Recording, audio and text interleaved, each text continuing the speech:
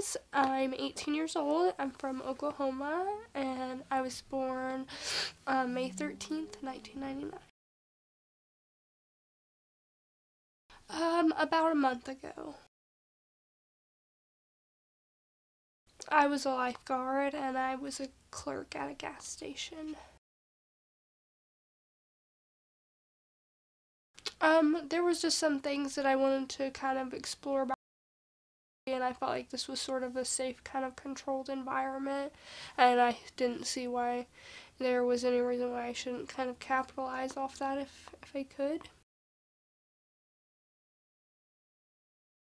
I guess not really. I don't think I ever did much research on the actors in them. I wouldn't say there's much that I dislike other than trying to pick out my own outfits all the time. Sometimes I'm nervous that it's not exactly what the director will like or but other than that everything's pretty great. So That's why they should have their own outfits. Right? Yeah, so wardrobe takes that stress away.